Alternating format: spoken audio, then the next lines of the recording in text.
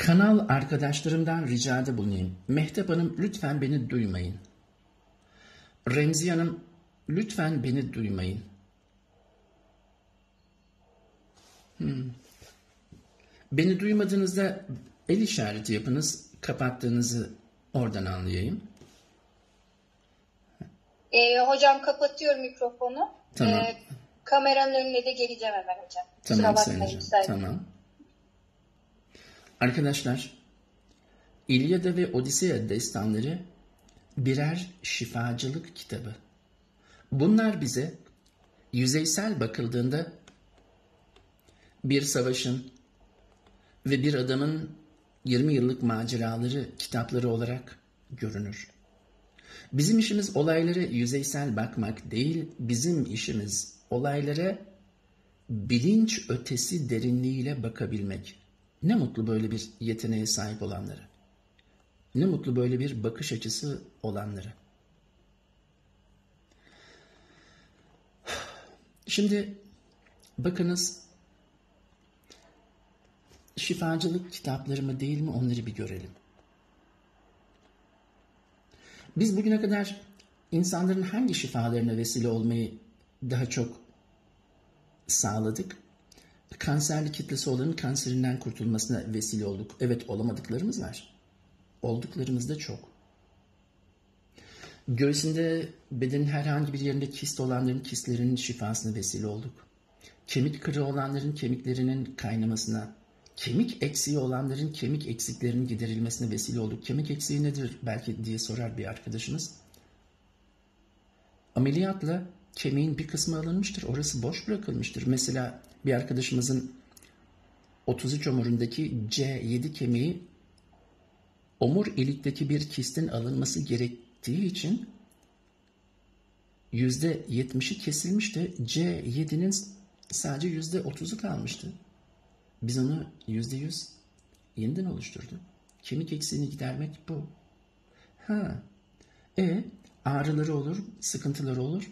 Biz bunları şifa, bunlara şifaya vesile olmayı çok defa yapıyoruz. Hayalimizde bu sistemi işleterek. Peki, hani acil servise gitmek üzere ya acil servisin ancak müdahale edebileceği bazı durumlar olur. Ne? Allah korusun büyük bir atar damarı kesilmiştir. Bileğinden, bedenin herhangi bir yerinden böyle kan fışkırıyordur. Allah korusun hani 10-15 dakika böyle devam ederse bedeninde kan kalmayacaktır. Damardan böyle fır fır, kan fışkırıyor. Öyle bir durumda işe yarar mı?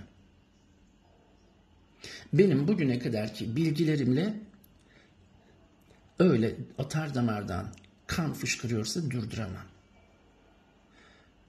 Ha, hani size itiraf ettim ya, Odiseya ve İlyada destanını sizlerle beraber her geçen gün geliştiriyorum dedim ya. Orada baktım, Odiseya destanda diyor ki, istediği kadar büyük olsun o damar, istediği kadar da kan fışkırsın, o kanı durdurabilirsiniz diyor. Ya patlak damar, kesilmiş damardan kan fışkırıyor ve onu durdurabilirsiniz diyor. Ben de bugün bunun sırrına sizlerle vakıf olmak istiyorum. Ve Odysseus'un neresinde bunu söylüyor? Odysseus destanı Odysseus'un hayatını anlatır ve der ki Odysseus daha 13, 14, 15 yaşlarında bir çocukken amcalarıyla ava çıktılar. Ormanda bir domuz gördüler. Çalıların arasından domuz bir anda çıktı, geldi. Odysseus'a ve amcalarına saldırdı. Amcaları büyük oldukları için kenara kaçtılar. Odysseus da kaçtı ama o koca dişini bir geçirdi. Odysseus'un baldırına damarını patlattı ve kan boşaldı, fışkırdı. Ve amcaları geldiler. Özür dilerim. Amcalarından birisi biliciydi. Geldi. Bir şeyler okudu. Sadece okudu. Ve kan anında kesildi. diye söyler. Ben bugüne kadar Odysseus'un hiçbir cümlesinin boş olduğunu görmedim. Bir destana bakan insan bunun üzerinde durulmaması gereken lafı güzel, boş laf olduğunu düşünebilir. Ben bunun gerçek olduğuna inanıyorum. Ve bugün sizinle beraber bunu kanal arkadaşlarımızla öğrenmek istiyorum. Çok büyük atar damarı kesilmiş, kan fışkıran birisinin bu durumuna nasıl müdahale edilir? Bu durumu nasıl düzeltilir? Hani hepimiz şunu biliyoruz. Ya öyle bir durumda hemen hastaneye kaldırırım zaten hemen hastaneye kaldırırım. E, biz de durdurabilirsek bunu sadece hayalimizde ne mutlu. Bugün onu öğrenelim. Remziye alınmaz hocam ve Mehtap hocam. İki arkadaşımız, iki hocamızdan kanallık ricasında bulunalım. El işareti yapalım. Bizi böylece duymalarını sağlayalım. İki arkadaşımız da, iki hocamız da duydular. Evet hocam. Sayın hocalarım, hmm, Remziye Hanım açık mı mikrofonunuz? Açık kapatıyorum Tamam. hocam. Lütfen Remziye Hanım siz yine bizi duymayın. Sadece Mehtap Hanım bize kanallık yapsın şimdi.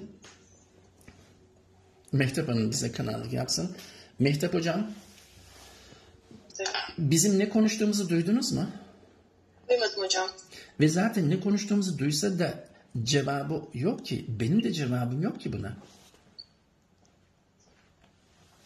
Peki ne konuştuğumuzu duymamasına rağmen kim cevap veriyor? Ruhu duyuyor ve cevap veriyor. Şimdi ruhu doğruyu söyleyecek bize. Eğer onun ruhu buna cevap veremiyorsa, daha doğrusu e, vereceği cevapta evet yapılabilir ya da yapılamaz. Bakalım neler söyleyecek. Eğer yapılabilirse nasıl yapılacağını ruhu anlatsın. Haydi Sayın Hocam biz bir şeyler konuştuk. Lütfen gözünüzün önüne gelen bütün görüntüleri hiçbir yargıya, eleştiriye, mantığa tabi tutmadan bize size göründükleri şekliyle anlatın.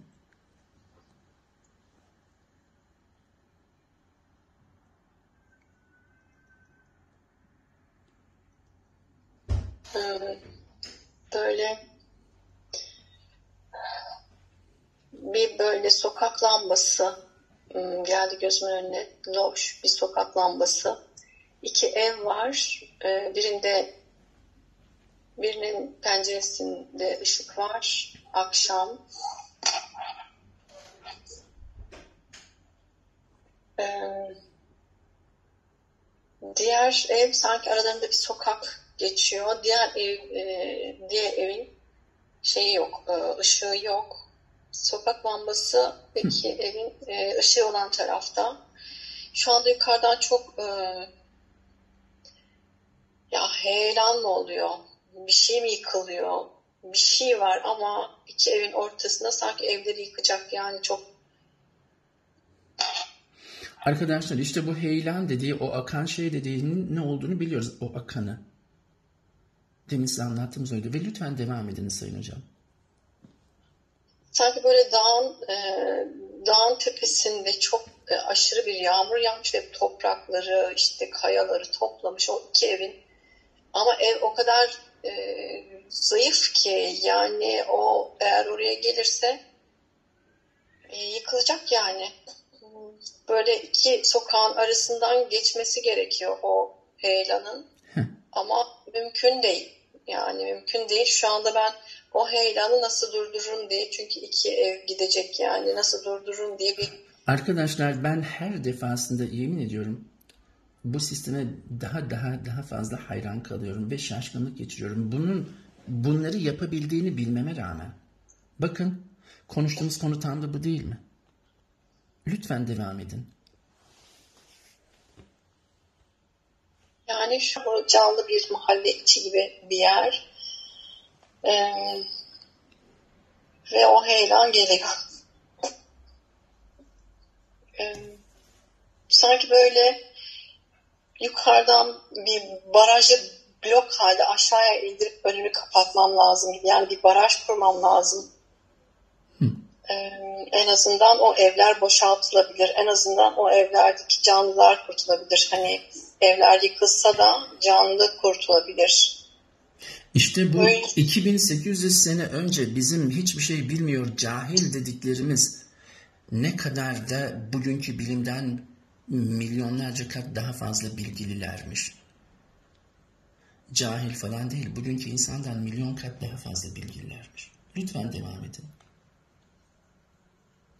Bugün biz bu bilgiyi duyduğumuzda bile şaşırıyoruz. Böyle şey mi olur diyoruz. Onların normal sıradan yaşantısıymış bu. Lütfen devam edin Sayın Hocam. Hocam ben bu barajı nasıl kuracağımı bilmiyorum. Gökyüzünden yardım istiyorum. Yani çünkü bir an önce kurulması lazım. Ani yapılması lazım. Çünkü e, o o akıntı, o heyelan çok hızlı bir şekilde geliyor. O şey mahallenin o iki arasından geçecek. Bunu e, Kaç, Allah kaç dakika ancak Allah'tan yardım isteyebiliriz. Yani başka yapacak bir şey yok. Allah'tan Ve yardım ancak o. Evet. ancak o, o o barajı kurabilir. Ancak o o seti kurabilir. Ee, öyle m, ve o en azından o mahalle boşaltır. En azından o insanlar e, yaşamaya devam eder. Böyle bir e, his var içimde ve bir an önce o barajın kurulması için acele ediyorum. İşte gördünüz. Allah'tan isteyeceğiz diyor. Çünkü insan yapamaz diyor. Ama şu anda insan yapıyor onu nasıl? Onu idrak ediyor, hayalini kuruyor, Yüce Allah'tan yapılmasını rica ediyor. Bu bir farkındalık, derin bir bilgi bu. Niye 2021'de bunu yapamıyoruz? Çünkü hırsızlardan üçü bunları bizden çaldı. Sokrates, Platon, Aristo. Dediler ki sizin bu yaptıklarınız çok mantıksız. Ve lütfen devam edin Sayın Hocam. Yüce Allah'tan yardım istedik. Yüce Allah'tan yardım istedim tüm kalbimle, tüm iyi niyetimle. Ee, ve şu anda gökyüzünden e, böyle blok halde beton bir e, baraj şeklinde, böyle hilal şeklinde bir baraj çok şükür onun önüne geldi ve şu anda o heyelan hem hızı yavaşladı hem zaten orada birikmeye başladı. Ee, o mahalledeki o ışığı yanan e, evlerdeki e, insanlar evet, insanlar şimdi mahalleyi boşaltıyor. Daha güvenli bir yere, daha güvenli bir yere doğru hızla gidiyorlar hocam. Mahalle boşaltılıyor çok şükür. Ama ev e, evler şu anda boş. Ve baraj çok az bir şekilde çok hafif bir şekilde eğildi ve üstten çok hafif bir şekilde tekrar hatta temiz su olarak temiz su olarak yani o çamur falan barajın diğer tarafında kaldı üstü o, temiz su olarak yavaşça bir ark gibi o mahallenin ortasından akıyor şu anda temiz çok şükür. Bu kadar hocam görüntü. Mahalle için hayati tehlike sona erdi mi? Erdi evet. Aha, Ve erdi. yeni sağlıklı bir yaşantı için gerekli olan imkanlar sağlandı mı?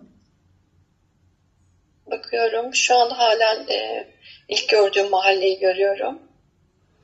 Elinize, yüreğinize sağlık. Allah sizden razı olsun.